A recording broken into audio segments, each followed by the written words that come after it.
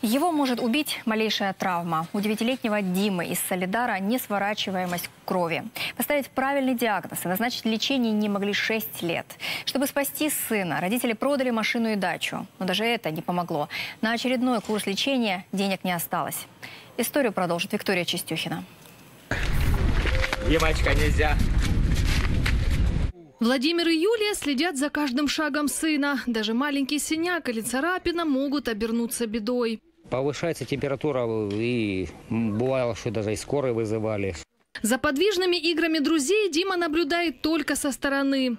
Они бегают, а мне нельзя.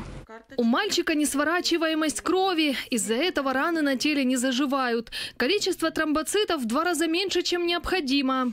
Результат э, 94 при норме 153. Такие показатели говорят о том, что есть постоянная угроза жизни ребенка. Тяжело, очень тяжело. Родители, у которых ну, про- происходят такие горе, они меня поймут.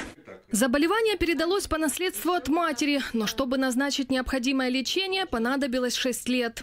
Если бы раньше мы э, поставили диагноз, э, начали раньше лечить, может быть, и переросли ее.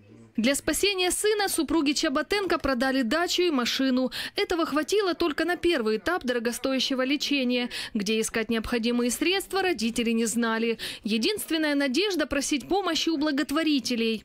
Мы обратились в штаб Рената Ахмедова. Огромная благодарность ему за помощь, за лекарства, за то, что, будем говорить так, что спас ребенка моего. Таких людей единицы в этой жизни. По статистике, 70% больных в детском возрасте при своевременном лечении полностью выздоравливают. Благодаря необходимым медикаментам уровень красных телец в крови Димы сейчас стабильный. Мне помог Ре- Ренат Ахметов. Это такой дядя, который спасает детей от болезней сложных. Я ему очень-очень благодарен. Он мне сильно помог. В рамках программы «Лекарства детям» гуманитарный штаб выдал более трех тысяч жизненно важных наборов медикаментов. Их получают маленькие жители Донбасса в возрасте до 16 лет. Это противосудорожные, противоастматические препараты, а также тест-полоски для диабетиков. За все время работы адресную помощь на лечение и операции штаб Ахметова предоставил порядка 4 тысячам детей.